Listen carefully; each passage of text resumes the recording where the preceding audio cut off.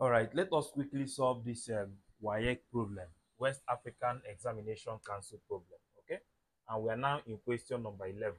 And this question said we should find we should find the number of sides of a polygon if an interior angle of a regular polygon has is um uh, 168. Now they said an interior angle and means one. So one interior angle uh, one interior angle of a regular polygon is this then you should find the number of sides. First of all, you should know the formula that says that the sum, the sum of angles, this is angles, a mathematical sum of angles of a regular, regular polygon. Sorry, sum of interior. It must be an interior angle. Okay, sum of interior. Let us put interior. Sum of interior angle of a regular polygon is given by n minus 2 bracket 1 8. Okay, that is the formula for sum of interior angle.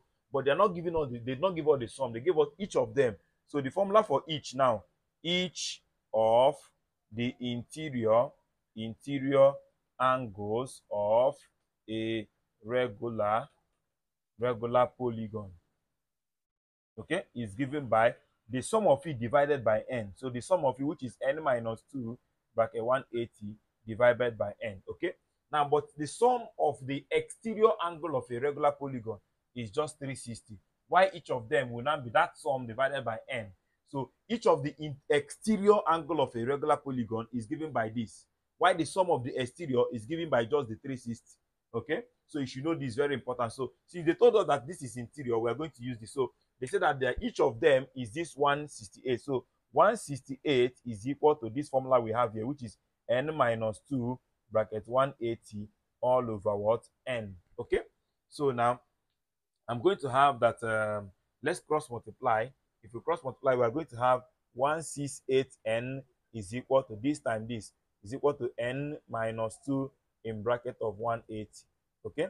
So we're going to have that 168n is equal to this time this will give you 180n minus 360 okay so collect items this one come here, this one go here. So I'm going to have that 360 will now be 180n minus 168n.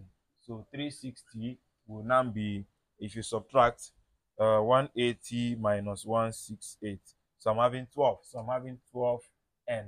So my n will now be what? 360 divided by 12. So I'm going to have that 360 is dividing 12. So I'm having 30. So 30. So this polygon, this regular polygon has 30 sides because n is the number of sides or the number of angles, okay? So it has just 30 sides. It's a very simple question. So please don't forget to like our video. Encourage us by subscribing. Bye-bye.